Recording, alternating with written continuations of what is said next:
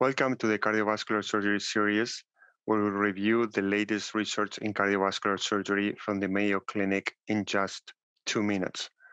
I am Juan Crestanello, and I am a cardiac surgeon at the Mayo Clinic in Rochester, Minnesota. We will discuss today the article entitled Does Mitral Valve Calcium in Patients Undergoing Mitral Valve Replacement Portend Worse Survival? Mitral valve surgery in patients with mitral annular calcification is one of the most significant surgical challenges faced by cardiac surgeons. We reviewed 496 patients who had isolated mitral valve replacement. MAC was present in 23% of those patients. Patients with MAC had significant comorbidities such as older age, peripheral vascular disease, diabetes, dialysis, and previous aortic valve surgery.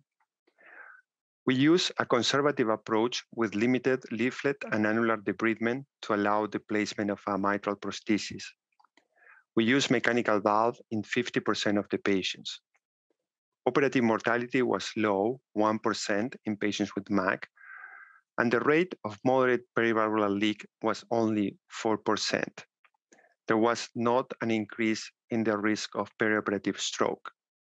Patients with MAC had a significant worse long-term survival, but after adjusting for comorbidities, MAC was not a risk factor for long-term mortality.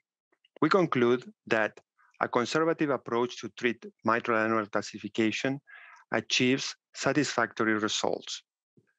Patients with MAC had significant comorbidities contributing to a worse long-term survival, though MAC in itself is not a risk factor for mortality. Thank you for listening to the Mayo Clinic Cardiovascular Surgery Series.